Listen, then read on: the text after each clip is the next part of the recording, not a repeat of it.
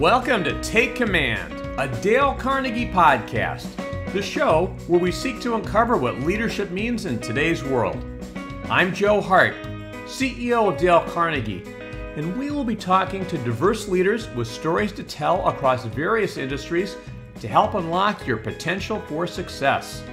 We will be sharing real life insights into leadership, which in turn can help spark the next level of your growth as a leader. Today's guest started his career as a journalist at the Washington Post and Miami Herald. He left journalism and moved to New York City to pursue an interest in books and the theater, where he wrote books and lyrics for musicals. He's been an editor and publisher at Random House and Hachette Book Group. He believes books can change the world, and he is the president and CEO of one of the most prominent publishers in the world, Simon & Schuster. Please welcome Jon Karp. Jon, it's great to see you. Welcome to Take Command. Thank you. It's good to be with you. Well, Jon, you're someone I've gotten a chance to get to know over the past couple years. You've certainly had an extremely impressive and eclectic career. I know you started as a journalist at the Washington Post, the Miami Herald. You came to New York City early in your career to pursue an interest in books and the theater. You've written the books and lyrics for musicals. You've been an editor and publisher, and now you are the CEO of one of the most prominent publishers in the world. Share a little bit with us about your background and some of the key things that led you to the role you're in today. Well, I grew up in suburban New Jersey. Both of my parents were excellent influences on me. There were books in every room of our house. My dad was a lawyer and a banker. My mom was a teacher for 25 years. So I think usually if you add lawyer plus teacher, you usually get book editor. And I was always interested in reading and in theater. If I ever wrote a book about myself, the title might be Last Orphan Cut. In eighth grade, I auditioned for the regional production of Oliver I sang and I acted, and, and then it came time to dance. And after the dancing, I was the last orphan cut. My whole life would have probably taken a different direction if I'd been in that because it was the Paper Mill Playhouse, a really good regional theater. But I've always loved books. I just gravitated toward it. I was the editor of my high school newspaper, my college newspaper. I was even the editor of my summer camp newspaper, where I published an expose about leeches in the Camp Lake. What is it about writing that has connected with you so viscerally? I love stories. I love language. For whatever reasons, I've just always loved books. I've just always loved to read. And I've loved movies and theater and all other forms of storytelling as well. But I just think there's something about communing with a book that's an incredibly powerful personal experience. You're basically listening to another person tell you everything they know for hours upon hours. It can be a transformative experience. Certainly, it can be, and it is a form of art. It is that author expressing the creative power from within them and expressing a story or whatever it is that they're writing. And you've brought to life some incredible books. We'll talk about that in a little bit. As you look back at your career and the different things led you to where you are today, what were some of the key milestones? As you look back, what were some of the even defining moments in your career? In terms of leadership, being the editor of the Brown Daily Herald when I was in college was a formative experience for me. And I've been thinking a lot about it even today because I was named the editor in chief of the Brown Daily Herald in 1985. And at the time, there was a lot of protest going on. Right before I became editor, the newspaper was picketed actually by Black students who didn't think we were covering them very well. And they thought that the newspaper and the university, by extension, were really guilty of institutional racism. And so in 1985, I was confronted with this. It really uh, shook me up and it moved me, and I agreed with what they were saying. I thought that the Black students had a lot of really valid arguments. The newspaper was not very representative, there was not a lot of diversity there. And we really made strides over the next year to ameliorate that and to cover Black issues better and to have more Black staffers. And I think about it now, nearly 35 years later. Obviously, things have gotten better, but we're still having a lot of the same conversations about systemic racism. So that was actually a core formative issue for me. And I think just generally, when you get a chance to be the leader of a college newspaper like that, it really does shape you and stay with you. I mean, I remember once I was talking to uh, somebody who was a little bit younger and who was trying to decide whether to get more involved in the paper. And I told her all of my doubts And she quit the next week. it was at that point that I realized, well, gee, you know, maybe I was a little bit too much information, and maybe a leader has to be a little bit more careful and confident. That was a very early key experience.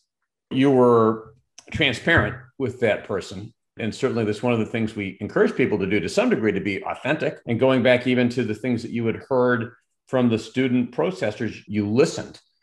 What other kinds of takeaways did you have from that experience? Because you talked about it being so formative. And how did even some of those things that happened then influence you today?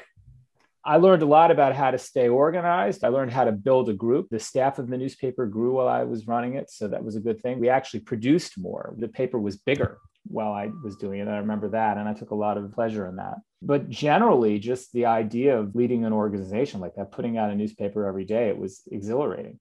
What does leadership mean to you? If you think back about that experience or your experience now, I mean, how do you define leadership? What is the role of the leader in your mind? If you were to boil it down to a sentence or two, I would say that it's looking forward with vision in a way that sets an example, in a way that sets a worthy example too, and gives people a shared purpose and a sense of meaning.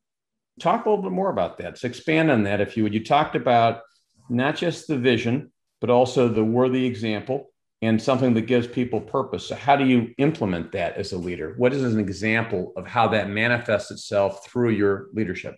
I'm a big believer in trying to look forward and look ahead as much as possible. I'm not a big fan of looking sideways or looking at the competition. And I realize that sometimes you have to know what your competitors are doing in order to contextualize, in order to make sure you're not overreacting to something or that you're not going too far to an extreme. But I generally don't like to look at the competition. I think that it's better to be operating from a core of what you think is necessary.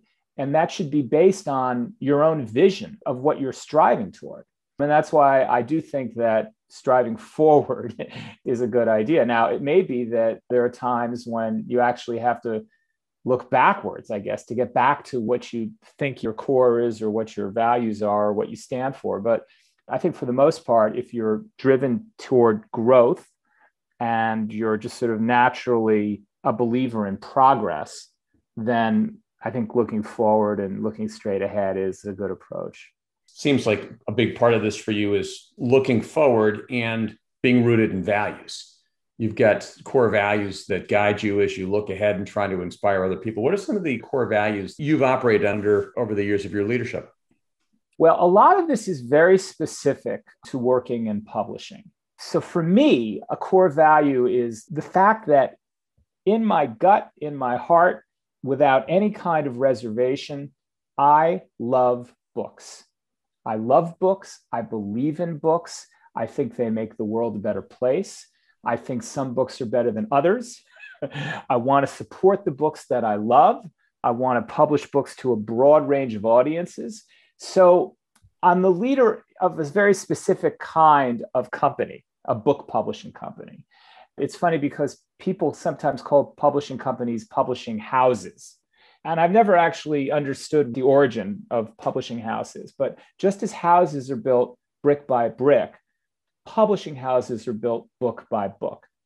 And so the vision that a book publisher has to have might be a little bit different than the vision that somebody like Jeff Bezos might have. I think about Jeff Bezos a lot, first of all, because he's transformed the book industry, but also because he was born the same year that I was born in, in 1964. And we share a similar trajectory in terms of our lives. And we both grew up watching Star Trek. He decided that he wanted to start a space company. I decided that I'd be quite happy publishing Star Trek novels. So clearly, I was just on the book path, and I'm obsessively interested in books. So a lot of my values as a leader really stem from that core. And if you love books and you want to put them out in the world, that gives you a lot of direction and focus. So, what is the role that you see books having in the larger dialogues of society these days? I mean, clearly there's been a lot of controversy about some books that have been published or not published and that kind of thing. What role do you see books playing in kind of this larger discussion, so to speak? It's an interesting question because there are some people who, like me, believe that books can change the world and make the world a better place. And I think when you're having that experience as a reader, when you're locked into what a writer is saying and you think of the world in a different way, or it makes you take a certain kind of action, or it opens you up to an idea you'd never considered before, you think, wow, that was powerful. That was transformative.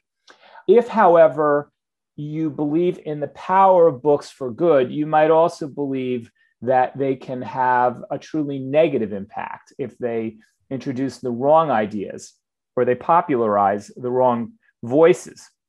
And so then you get into a situation where people are actually trying to limit what's published and extract voices from the culture. And I'm not sure that I want to do that very often. There are plenty of authors we don't want to publish. There are plenty of times where we've said, we can't do this. Some of them have recently made news, actually. But you know, we are here to publish voices. We're here to broaden people through uh, a diversity of views. And I would argue that the idea that books have negative impact, I'm not so sure that that's as true as the opposite. I think that the power of books to have a positive impact is far greater than the negativity that a book could cause. And so I think that it's misplaced energy. And I also think that it's kind of a shallow binary kind of thinking to assume that we have to subtract books. And I'd much rather add them. Certainly, if we think about books historically, they've added to the public discussion. They've gotten people thinking about and debating different ideas and so forth. And like you said, I mean, books certainly can play an important role in opening minds from a leadership standpoint, certainly you've been in a position this last year of having to make some difficult decisions regarding books. It seems like if you published or you didn't publish, you knew you were going to have some people who are going to be unhappy. From a leadership standpoint, what advice would you give to leaders who have difficult decisions to make and know that people aren't going to be happy with those decisions? What are some of the things you've learned even over the past year of making some of those tough decisions? So what's been going on at a lot of companies and certainly simon and schuster is one of them is that there are employees who want the company to be a force for social justice and for progressive change in the country and those employees are looking at some of the books we're publishing and saying, you know, they don't set the right tone. They are actually harmful in ways, they're hurtful in ways, and they don't want any association with them.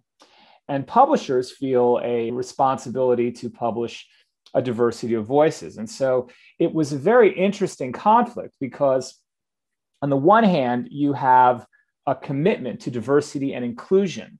And on the other hand, you have people saying, exclude these voices. And I would just argue that you can never be inclusive if you're excluding voices. That said, I do think that leaders have a responsibility to ventilate these issues and have these conversations. So, one of the things that I really try to do is, first of all, I met with every single person in the company when I became CEO in groups of 10. We had these sessions called Java with Jon, and I opened up the forum and they could ask any question they wanted. And a lot of these topics came up in the conversations. So I had talked about it with people in small groups. I also tried to refer employees to a couple of books that I thought were particularly illuminating on some of these questions. And we had a town hall about it with these authors. And one of the authors is Amanda Ripley. She wrote a book called High Conflict. It's all about how to transcend conflict in your lives. And it's a really, really smart account of how we get past the point where we're always at loggerheads with each other, where we're talking past each other. And the other book was called Let's Talk About Hard Things by Anna Sale. And Anna pointed out that one of the reasons that people usually don't understand or agree with each other, it usually has to do with just sort of understanding the context that the other person is coming from. So let's talk about hard things was all about understanding context. High conflict was all about trying to sort of go to the balcony. That's a phrase from the book where you're looking down at what the argument is from the balcony and you're trying to get perspective on it. And it just seemed to me that as these conversations about the tension between free expression and a diversity of voices and social justice and having an inclusive work environment, those issues were basically in conflict with each other. And it was all about the context of the person, depending on how you viewed it. And I was fascinated by it, actually. I just wanted to keep talking about it with everybody. We had a long town hall meeting, and I just stayed until the last question was asked because I thought that it was really important for people to feel heard. And I also thought that it was an entirely constructive, positive conversation. I think it's a very healthy debate. When I was uh, in grad school, I wrote a term paper on the New Republic in the 1920s right around the time of the progressive era. It was a culture of debate at the New Republic. And people like Walter Lippmann, they were advising the president privately, and they were writing columns and they were disagreeing with each other about what the future of the nation should be. And not everybody agreed, but they all got along. And I think similarly, publishing houses can be like that too. Sometimes these conversations are really hard to have, that's why we are in the business of ideas and language and expression. And we have to have these conversations. And if we can't have them at a publishing house, what hope is there of having them in other parts of the country? I admired your leadership during these difficult times. I think your heart is on doing the right thing and listening to people and trying to value different perspectives. It's not always easy, though. You've led during some challenges, and I've admired how you've done that. One of the things I am anticipating is that some of the decisions you've had to make may have been stressful. Certainly, they're not easy decisions. And one of the things people often assume is that CEOs are unencumbered by stress and worry. They're confident, they're decisive, and so forth. How do you handle stress in your life and worry? Or is there a time or an example you can think of of something that happened in a strategy you've used to address that stress? Well, yeah, I once edited a book about burnout and performance, and the author of it, uh, Steven Berglas, he said that there is such a thing as good stress. So, not all stress is bad. if you're intellectually engaged in what the challenge is, I kind of enjoy that that sort of uh, adrenaline that you get from trying to solve a problem. I don't think that my answers to your question are going to be particularly revelatory. Like a lot of people, I like to take walks, I get exercise, I personally love a good nap. Got pretty good blood pressure. I don't get too rattled that easily. And the kinds of issues that I'm facing in the book business, I think are to some degree maybe a little bit easier. no lives are at stake, I don't think. And also the people are very nice. You know, when they say that it's a polite profession. I think that that's still the case. That's a good thing. Who are some people who have inspired you to be a stronger leader? Well, I will tell you the story of one person who's inspired me, who I've rarely uh, talked about, and his name is Don Katz, Donald Katz. And in the early 1990s, I had an idea for a book. I went to a literary agent. I wanted to publish a book about the convergence of digital technology. And this was in the early 1990s. And this was at a time when people were saying there's going to be such a thing as video on demand. And I thought, well, there were all these companies that seemed to be getting into this. Time Warner, I think Time was starting to get into it. I don't even know if they'd merged with Warner yet. Anyway, the agent, Binky Urban, suggested Don Katz to write it. Don had written a book about Sears called The Big Store, and he'd written another wonderful book called Home Fires. And he was a terrific narrative nonfiction writer, very much writing in sort of the tradition of Gay Talese and Tom Wolfe and David Halberstam, sort of next generation journalist. So I signed on up to write this book. You know, we knew it was going to take him many, many years to do.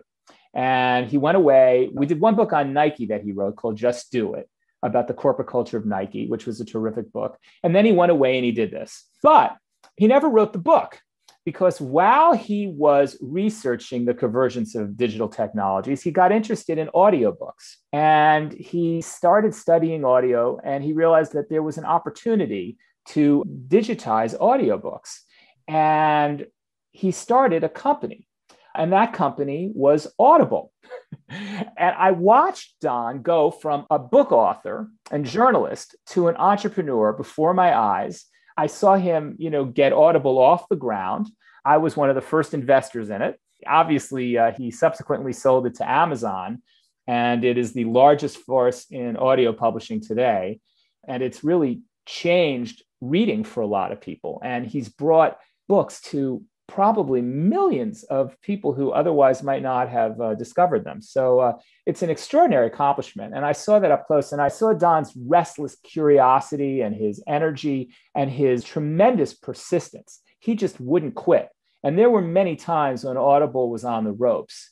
He just stayed ahead of the curve long enough to really build it into a force in publishing. So I think it's a fascinating story, and I think it's a, a great story of leadership. Also, he based a company in Newark which I really, really respected. And he's done a tremendous amount for the community. And he supported schools and literacy, the New York Public Library. So, three cheers for Don Katz and Audible. Well, Don sounds like an inspirational leader and certainly a visionary. It's interesting, too, just on a personal note. I find myself consuming more books now than ever before because there are more modalities to do that. So I will run and listen to a book on Audible. I might have the same book on Kindle and be able to pick that up where I left off on Audible. And if I really, really like the book, I've also bought the hard copy too. And in fact, sometimes I will just give those away. So it's not uncommon for me to buy the same version of the book in three different formats. That's real vision that, you know, the people who created these new distribution opportunities, whether it's through audio or ebooks, I wish I were that kind of a visionary. I mean, for years, I would wake up every morning thinking, when am I going to have that idea? But actually, most of my ideas have been about the actual books themselves. I mean, it's interesting to me because obviously in the early 1990s, I did understand that there was going to be this convergence of digital technology, but it didn't occur to me to actually start a company. I just wanted to publish the book on it. Well, you've certainly played a critical role in this process, Jon. So maybe not being the creator of the technology, but you're certainly supporting that. Let me ask you about publishing and creativity because what you're really doing is working with an author to take a concept to reality and really trying to discern what ideas, what books are going to be the most successful. How do you encourage creativity? How do you get that sense about where to focus and where not to focus? I hate to fall back on Potter Stewart's comment about pornography, about how you just know it when you see it. But I do sort of think that creativity is the same way. And there's just something about the way a writer expresses herself or himself. There's something about the way the words come off the page, the way the ideas sparkle. And you just feel like you're in the presence of somebody who's really interesting, who you want to keep listening to. And that's always what I'm attracted to. And it doesn't matter whether it's fiction or nonfiction, whether it's entertainment or something that's more polemical. I just want to be in the presence of that person. And I'm curious and I have more questions for that person. You know, curiosity, I do think, is one of the core elements of management and leadership. And the older I get and the more I read and the more I learn, the more I realize just how foundational and fundamental curiosity is. I mean, one of the most inspiring people I've worked with is Brian Grazer. And Brian did a book with us called A Curious Mind. And it was based upon something he'd been doing his whole career, where he asked a total stranger to have lunch with him and he did this basically every two weeks, methodically over a period of decades. And a lot of his movie ideas came from those curiosity conversations. So I looked at Brian's example and I thought that that's how you lead. You lead by just sort of having an open ended approach to your work. The other thing that I thought was interesting is that, you know, when I was looking back at Dale Carnegie's example, asking questions was also core to what he did. And maybe one of the first people to suggest that you can really lead just by asking questions. It's non confrontational, it's open. And I do think that openness and curiosity, those are core values. Those are values that I would like to be core to Simon and Schuster and to any other endeavor that I'm working on.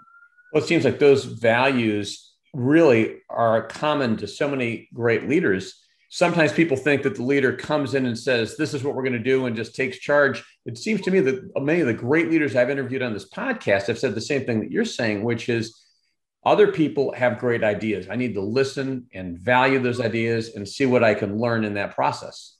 Right. And I also worry about the danger of people who feel like they have to manage up. One of the things I really try to discourage is, you know, people feeling that they need to do that, that they need to in any way flatter me or show me that they like me. It's nice, of course, when people like you. And I know that that's also at the root of Dale Carnegie. But I also think that just in terms of having a productive work relationship with somebody, I'm more interested in, in showing that I'm concerned about what they're doing and that I care about that. And again, it sort of comes from that core love of books. I mean, people know that I really care about the books. You mentioned Dale Carnegie a number of times. You are really the steward of Dale Carnegie's books. Simon Schuster has been a partner of ours for 85 years, a great partner. What role do you see how to win friends and influence people, how to stop worrying, playing in society moving forward? Well, first of all, I want to take a step back and just talk about how the book came to be, because that in and of itself is sort of an example of what makes a publishing company good. It was actually the brainchild of Leon Shimkin, who was one of the top executives at Simon and Schuster. And he had heard Dale Carnegie speaking, and Dale didn't want to write the book at first. And so Leon Shimkin brought a stenographer and just got everything down that Dale had been saying. And that was the basis of how to win friends and influence people. It's one of those books that people feel they need to read, not just to improve their lives, but to actually understand America. When I see the influence that it's had, I mean, it's remarkable because obviously the book is, as you say, it's over, you know, 85 years old, but it still speaks to people with a universality and a profundity. I was looking at an online comment just the other day. A reader had posted from India and said, you know, this book may be old and it may be American, but everything in it is relevant to my life today. And I think that's extraordinary. So I think that it can be read as a foundational look at what really lasts. And obviously, there are going to be parts that will not be quite as relevant to the present moment, but you can still see the core truths that actually sustain over time. Yeah, it's pretty incredible. And that's one of the observations I've had, which is the same as the one you just shared traveling around the world and being in countries all over the world and seeing how universal the principles and ideas of Dale Carnegie are. They resonate to people across culturally and have an incredible impact on people and societies. I think that when something lasts that long, there's a reason for it. Most books don't last. Probably 95% of the books that get published after 10 years, they're no longer relevant. It's sad. I used to think that books were forever, but actually, really only a small fraction of them are. So it really is significant that people are still reading Dale Carnegie all these years later. And he clearly was somebody who articulated core values and core truths about how to communicate, how to influence people, obviously, and how to grow personally. It's interesting because the book was positioned as a self help book, still is often. And yet, when you talked about the principles of leadership that have guided you, listening, giving honest and sincere appreciation, valuing other people, those are all things that he talked about in many ways. This is really a seminal leadership book and has been for decades. It is.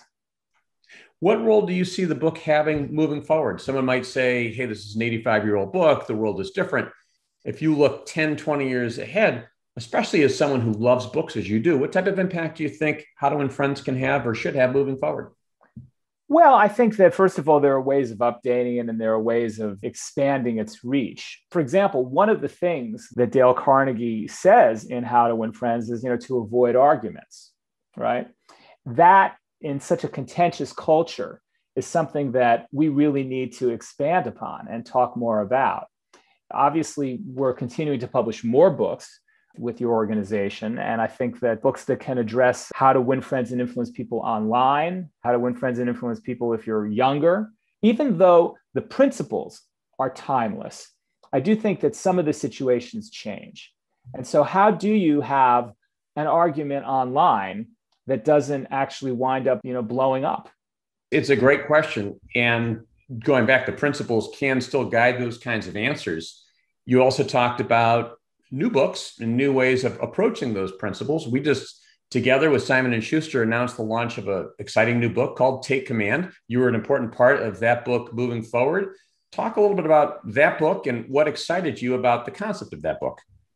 Well, I think that first of all, the idea that there are new generations of readers who haven't yet really learned about Dale Carnegie. And this is a book that you're writing with his grandson, if I'm correct. Yep, Michael Crom. So the idea of the two of you taking Dale Carnegie's ideas and expanding upon them, elaborating on them, putting them in a contemporary context. I think that's exciting and I think it's really relevant.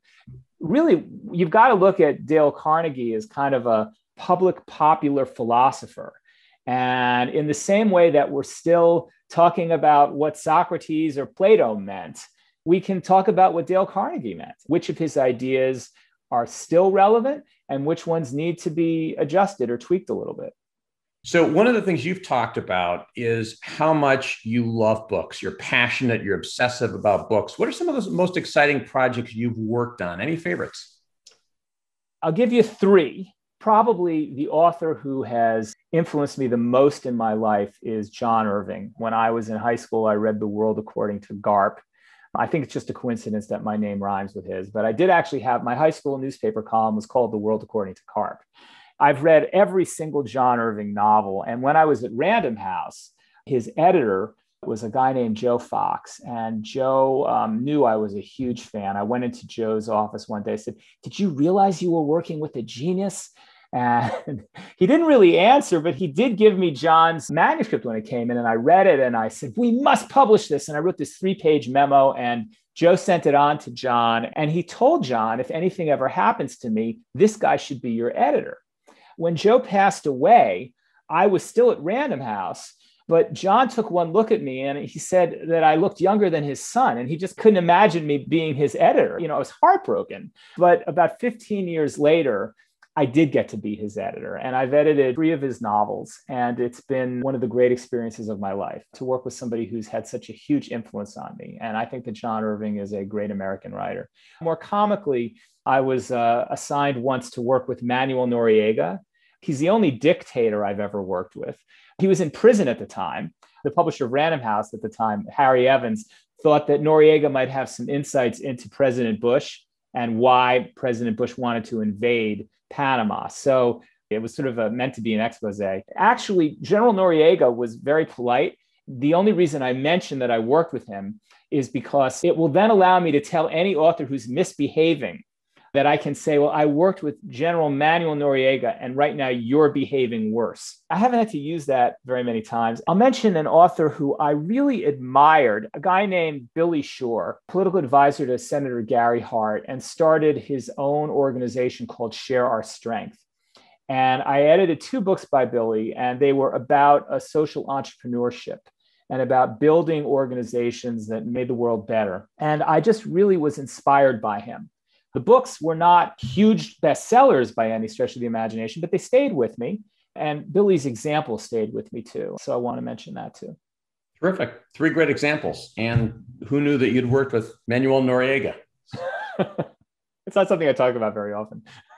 So, Jon, one question I know lots of people would love to hear from you is whether you have any recommendations for people who want to write a book, want to publish a book. Well, my first recommendation is that you should take your time. Unless you have something that is right fresh from your experience, if you've had some extraordinary experience and it needs to be shared with the world immediately because only you had that experience, and obviously that's something that should be rushed right out. And actually, those books are usually easier to write because if something extraordinary has happened to you, it kind of comes out real quickly. But otherwise, I'm a big believer in authority. I think writers should really know their subject well. John Irving takes years to write his novels, and he really knows what he wants to say when he writes a novel. And all the nonfiction books that I've really loved, they've been written from the perspective of somebody who has really studied a subject and gained a command of it. The title of your next book is Take Command. And I actually think that that's excellent advice for authors authors should take command. And I can tell when a writer is in command of his or her own material. And nothing is more satisfying than putting yourself into the hands of somebody who is telling you a story and they know exactly where they're taking you. They know which details to share and which details to leave out. They know how to tantalize you. They know where to land their big idea. Those are techniques that only come through a lot of work, a lot of research, and multiple drafts usually. I read that Malcolm Gladwell, a writer I've never worked with, but who I've read for years, he writes 10 drafts of every chapter. And that's why his books are so effective, because he's really thought about the very best way to tell his story. Great advice. Great advice for aspiring writers. Jon, you're in a role right now, especially for someone who loves what you do as much as you do, that gives you a lot of opportunities. What excites you the most about your work right now? What really kind of fires you up as you look ahead? Well, I decided when I became CEO, I thought, well, what is the message that I most want to communicate to Simon and Schuster? And my mantra became, let's talk about the books. I didn't want to talk about the process. I didn't want to talk about the business. I wanted to actually talk about the books. And then I thought, well, okay. Uh, so we started bringing in authors to talk to us more about the books. And we started reading books together and having regular sessions where we talked about the books with the authors. But that still wasn't enough. And I realized that I wanted to lead by example. So I started a video series, which I call The Word According to Karp. And every week or so, I talk about a different book. And it was a decision to put myself out there that way. I mean, generally speaking, CEOs don't do that. There was a little bit of concern that maybe the authors I wasn't talking about might take offense. It's also a commitment of time because I actually read the books. But I just thought that if I really wanted to lead by example and I really meant what I said about talking about the books, I ought to do it myself. So that's been very exciting to be able to do this. And I hope that people seem to like it. We'll see whether uh, I can sustain it. But that's been very exciting for me. Terrific. What are you reading right now? Is there one particular book you're you're reading right now? I just finished a novel that I absolutely adored called Fellowship Point by a writer named Alice Elliott Dark. She has been writing it for over a 17 year period. And it's the story of a friendship over 70 years. These two women from the Philadelphia area move up to Maine, and it is so beautifully and brilliantly crafted. It's a novel filled with wisdom and meaning. It won't be coming out until um, early 2022. You can't buy it yet, but it's a fantastic novel, A Fellowship Point by Alice Elliott Dark. So, I mean, that's just one. I mean, I could go on and on, as you can tell. So, Jon, thank you. This has been a truly enlightening discussion. As you think about our listeners, is there any kind of advice you'd give them about leadership or how they might advance in their career or something that you have found valuable for yourself? Well, obviously, I believe you should read, read widely, read voraciously. I believe that you should ask a lot of questions. I think you should ask questions relentlessly. I had a really good boss, a predecessor uh, as CEO, Carolyn Reidy, and I have never had anybody ask me as many questions as Carolyn Reidy asked me. So, those are two things. And then I think also, you should be clear about what you want to accomplish. That may sound like an obvious thing, but I really think that if you have a sense of purpose about what it is that you want to accomplish, everything really stems from that. Sounds great. Well, good thoughts and good final advice. Jon, thank you again for being with me today. Thank you. It was a pleasure. I hope you enjoyed this edition of Take Command, a Dale Carnegie podcast. Check out our resources page at www.dalecarnegie.com for more research, insight, and tools that will support your success in taking command of your leadership potential. If you enjoyed this episode, please consider rating it and subscribing to us on iTunes, Spotify, Stitcher, or wherever you get your podcasts. As always, thank you for listening, and we look forward to you joining us at the next episode of Take Command, a Dale Carnegie podcast.